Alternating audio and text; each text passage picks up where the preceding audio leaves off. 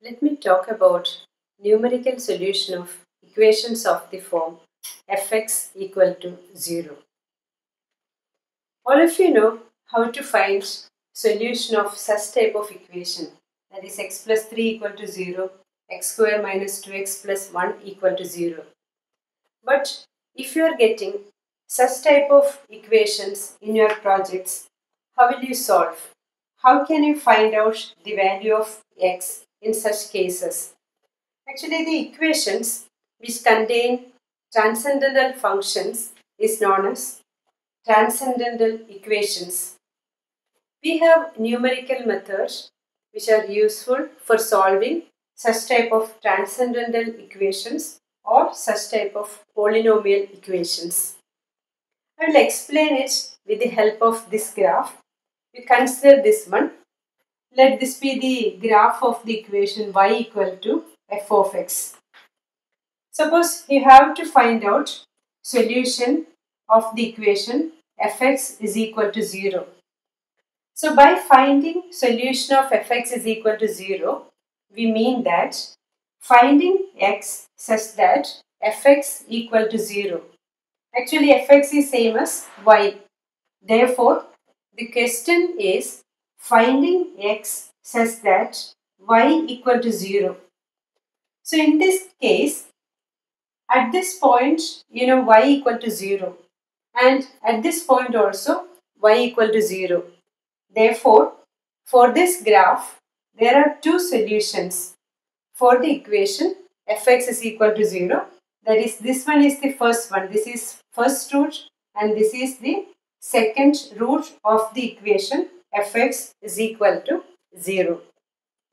So, this root lies between the numbers 1 and 2 and this one lies between 9 and 10. So you see in this case, when x is equal to 1, see this is the length f of 1 and you know this is a negative number and also at this point 2, this will be the length f of 2. So this is the point 2 comma f of 2 and this is the po point 1 comma f of 1. So in this case, this f of 1 is negative and f of 2 is positive. So then in that case, f of 1 and f of 2 are of opposite signs and the root lies between 1 and 2. We can examine this one here also. Here you see f of 9 is positive and f of 10 is negative.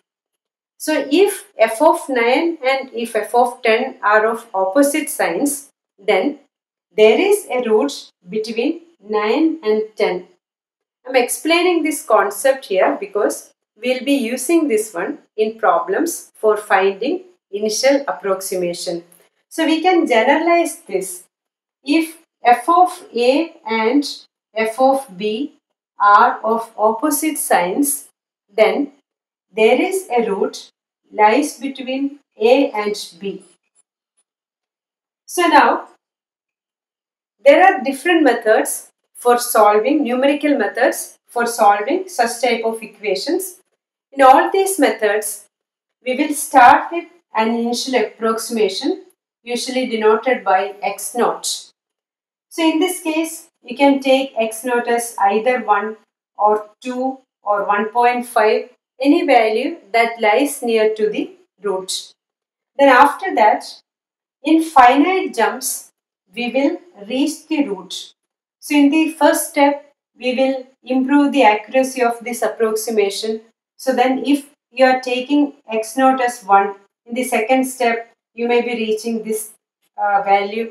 And again, after you will be jumping towards the root and in finite number of steps, you will get this answer.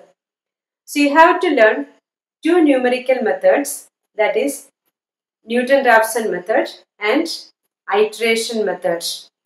In the next lecture, I will be explaining Newton-Raphson method.